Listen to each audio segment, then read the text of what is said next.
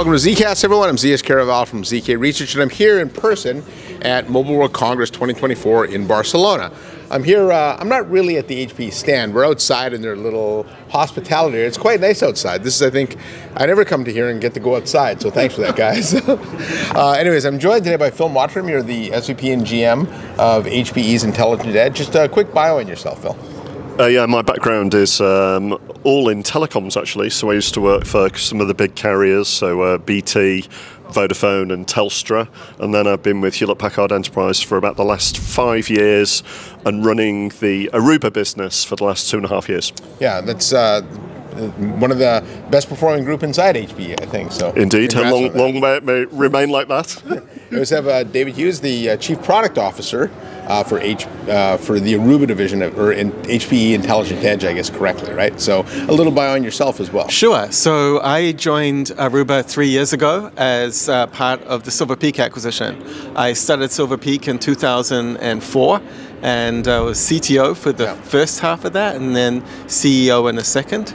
Prior to that, I worked uh, um, at various places, including Cisco and Nortel. So my life's been in networking as well. And what I remember about Silver Peak is uh, the hard pivot they made from uh, WAN optimization to SD WAN, faster than really any of the other um, uh, WAN op companies, and I think uh, because of that, you got a pretty good early mover advantage in it. So yeah, yeah. no, that was that was really one of the um, key decisions yeah. that that I made to make that big bet. Uh, now, as I said, we are here at MWC, and uh, um, big themes here AI, 5G. Uh, what's caught your eye? Have you seen anything here that's been interesting to you? Um, I think obviously AI is everywhere. Yeah. And, I think know, every stand says AI on it. Yes. Yeah. yeah.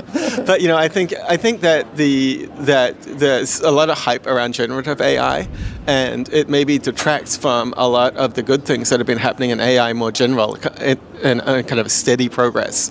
Um, so you know, I'm very optimistic and excited about uh, what we are doing with AI ourselves, um, and um, I think that there's part of this which is hype, but there's a lot that's happening um, kind of slow and steady behind the scenes that's going to be really transformative.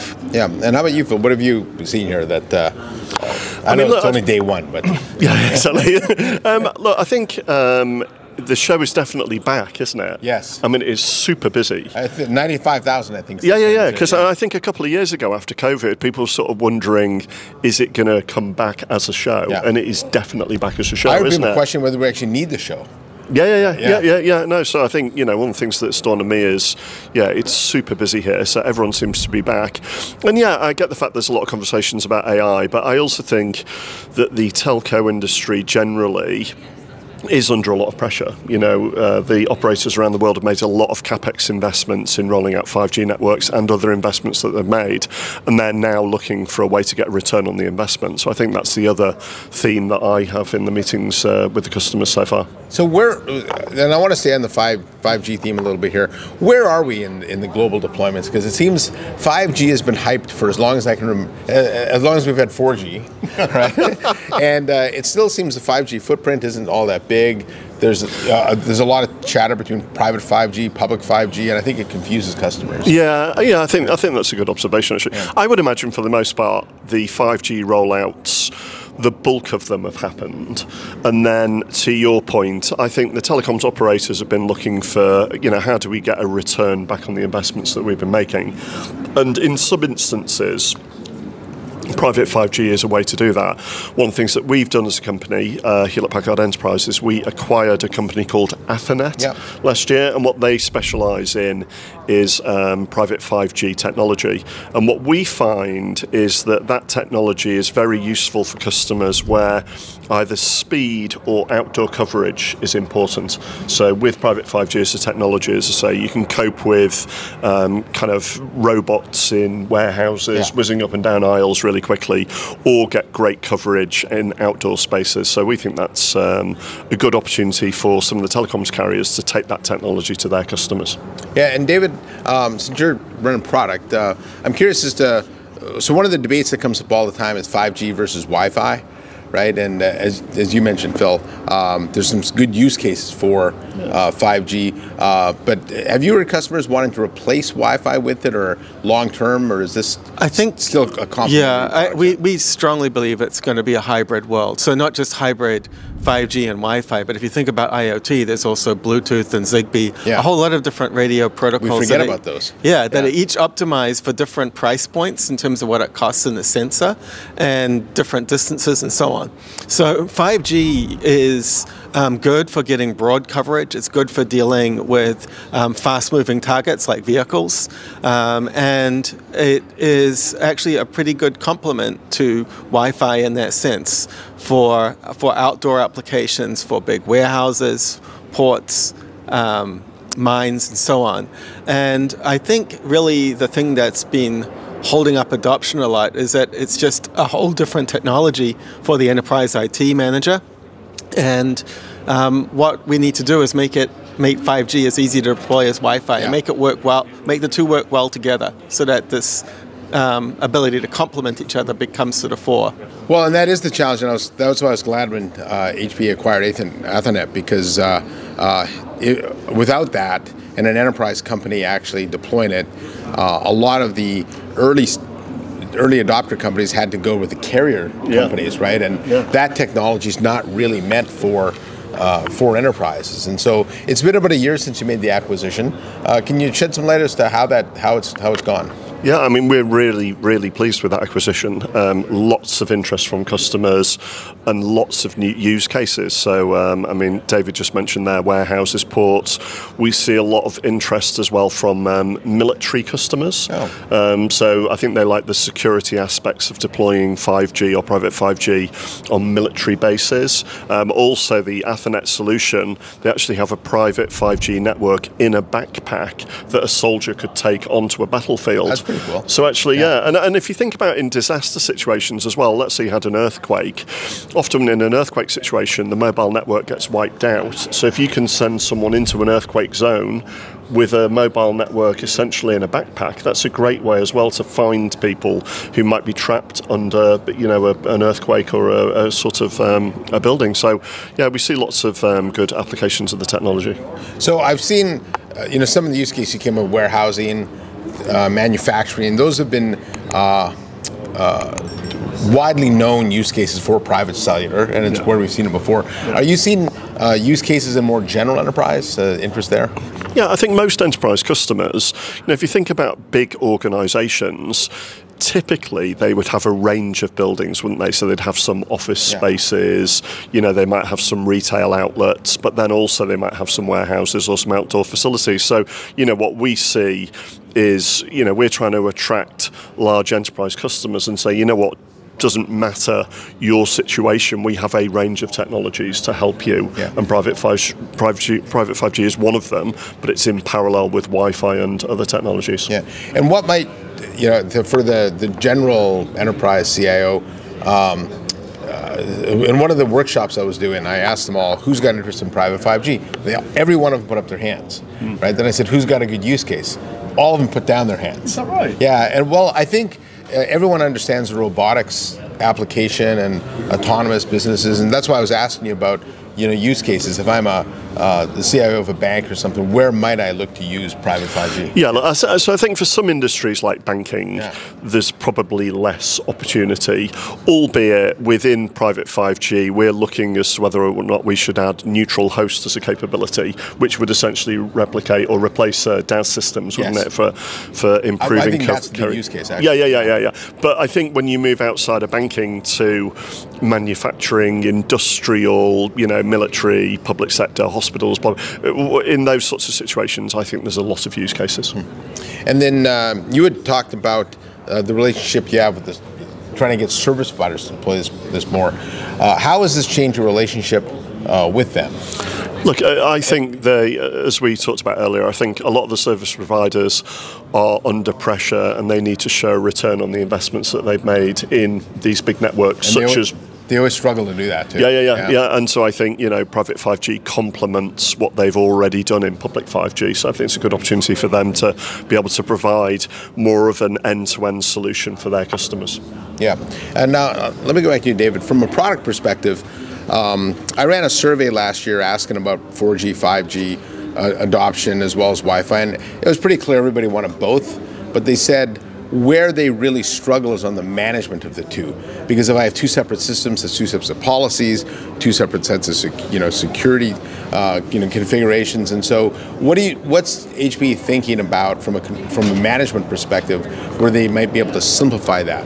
Yeah, so from our uh, kind of uh, long term vision, we want to bring that all under Aruba Central. So make it as easy to manage these 5G deployments as it is to manage Wi Fi. Just like you would buy Wi Fi access points today, you can buy, uh, you want to be able to buy um, small cell radios, deploy them in the same way, manage them in the same way. I think I really think the fact that everything's different and for an enterprise more complicated yeah. is a lot of what's holding back these um, applications. So unified um, management is we think is going to be key to getting broader adoption. Uh, you know, because that uh, there's different different use cases have different returns, right? And um, it, it, at some of the things like these wind farms and mines, it's like a total no-brainer. Then as you come down the stack and you're looking at, say, a university campus or a hospital campus, having um, broad um, neutral host-based 5G coverage to complement Wi-Fi makes a lot of sense, but it needs to be easily managed. They need to be able to do it with their current IT resources. Yeah. You can't do that if you have to train a whole a whole new team Yeah. to go manage this other network. That won't make sense. Well, in fact, uh, I think you have history on your side too. Like Wi-Fi really didn't become ubiquitous, uh, de- ubiquitously deployed until you could manage it through the same systems you could manage your wired infrastructure from. Yeah. right? And so similarly, I don't really know why this wouldn't play out that way. So now, one of the more interesting use cases I saw was at the Ryder Cup, which HP was a sponsor of. And so, can you talk about that deployment? I I, I really thought that was a unique. one. Yeah, so we've got a great partnership with uh, the Ryder Cup um, in deploying network technology for um, their sporting event. It's quite an interesting event. I mean, a lot of people attend the Ryder Cup. I think they had like 200, 250,000 so, people yeah. show up uh, in Rome recently for the uh, for the tournament, which the Europeans won, of I, course. yeah, in, in, a, in, a, in a pretty big uh, yeah. margin. And uh, anyway, but yeah, it's um, you know, so we we worked with their uh, technology office, and what they wanted to do um, this year was deploy both Wi-Fi and private 5G across the course. Uh, and the way they were using the uh, technology was they were actually using the private 5G network to do backhaul from the uh, kind of Wi-Fi hotspots um, around the course. And it is quite an interesting use case um, because I think in Rome there's obviously quite a lot of um, restrictions with regard to digs, Yeah. given the uh, the history. So you know, So it's digging up a golf course and laying fiber is not happening. Yeah, right? correct. Yeah. Exactly right. So you know, I think that's uh, that's a, an interesting use case that uh, we saw with the Cup. Yeah, in fact, I think the, they claim that this was the most eco-friendly and most sustainable Ryder Cup ever, and the, the network played a big role in that. Yeah, exactly right. And there's actually quite a lot of complexity in the network that they build because not only do they have to have a network that works for the 200,000 fans or whatever it is, but also they need a network for the security of the uh, event, Yeah. the players, you know, the TV broadcast stations, etc., etc. So it's actually pretty. They were telling me one of the big challenges was when you think about deploying, and I know HP is in a lot of stadiums, right? Yeah. He says if you think about a stadium deployment, you're everybody's there for three hours or whatever, right? But at a golf course, the entire stadium moves, right? Uh, you know, as you move, as the players move along, and so that's not something that you really have to deal with in any other industry. And actually, you have to have a very, very uh, high level of performance Yeah. for a concentrated three or four Yeah. days of whatever the event is, isn't it? Because he was uh, the CTO was explaining to me that you know if you hit like ninety nine point five percent performance over a three day period, that's still something like a twenty five minute downtime. Yeah. And you can imagine the amount of TV viewers watching that sporting event, and if it went off the network for twenty five minutes, I mean that would be a disaster, wouldn't That, it? that So- would be a disaster. Yeah. Yeah. Uh, all right. Well, just um, one last question, and uh, uh, and I, it's hard to you know think about HPE without without talking Juniper. Yeah. And uh, and I know you're in a quiet period, so I can't ask you too much. I'm just uh, curious as to how you're thinking that might change your service provider relationships. Well, look, yeah, I mean, we we believe that the acquisition is a great opportunity for us to scale up our networking presence even further. Yeah. So it's going to kind of pivot uh, HP as a company to having networking being the core part of the organisation and the business uh, that we operate in. And this um, acquisition, as I say, gives us more scale in the network space, gives us great capabilities in AI and other parts of uh, the technology areas that we need. And this will make a big difference, I think, to the service provider relationships that we have. Because HPE has got multi billion dollar relationships with service providers yeah. anyway through our compute products, our Aruba relationships, some of the software as well that we provide to carriers like orchestration. But then also on the Juniper side, they've got a really big service provider organisation. So we're looking forward to bringing all those teams together when the transaction closes, hopefully at the end of the year. Yeah, and actually I lied. One, one more. I'm going to go back to David here. Yeah. Since you mentioned AI, uh, where are we in AI for networking? Uh, and where do you, you know, right now, if I'm a network engineer, how should I be thinking about where to use it? Because there's a lot of theoretical use cases and as an if I was a network engineer I can't do all of them what would be my starting point yeah so um, the way that we look at it is a way to kind of accelerate deployment and accelerate troubleshooting so, so we zero day yeah. yeah. and so I think the um, where AI is excelling today is really in that day two um, helping identify anomalies and then helping oh. troubleshoot so in Aruba Central we have uh, almost 100 AI insights now where the AI is running autonomously and identifying um, either problems or opportunities to improve performance or improve coverage and recommending those changes to the operator who can then say yes. And as well as saying yes, they can also check a box that says if you see something like this in future, do it automatically. So we're kind of giving our customers some of them are some of them are more comfortable with having human mediated AI. They want to be in the loop on every um, decision. Others are more aggressive and kind of want to offload their people from having to deal with yeah. these things. So it's um, it's it's happening today, and it actually doesn't take uh, a lot of AI expertise on behalf of the customer. We've got a, a big Well, you team. do all the heavy lifting for them. Yeah, yeah, we've got a big team of data scientists that are doing that to kind of wrap it in a way that any customer can adopt. Yeah, one of the interesting data points of my research, and this is why I think Wi-Fi is the best place to start with AI, is uh, wireless engineers spend about a quarter of their time doing nothing but Wi-Fi troubleshooting. Is that right? Yeah, it's it's yeah. a it's a huge number. So uh, I don't know where you were when I was an engineer, but, I wish you, but I wish you had had that capability then. So so I spent a lot yeah. of time trying to figure out problems with Wi-Fi. So yeah. All right. Well, uh, uh, thanks for the update, guys. All right. Thanks. Yeah. So so it's always good to catch up with you guys and hear what's going on in, in AI and 5G, and really those two technologies in a lot of ways are coming together too. So yeah. Right. So on behalf of David Hughes and Phil Mottram, I'm Kerravala from ZK Research saying thanks for watching. As always, make sure you hit that subscribe button, and I'll see you next time on my next episode of ZKast.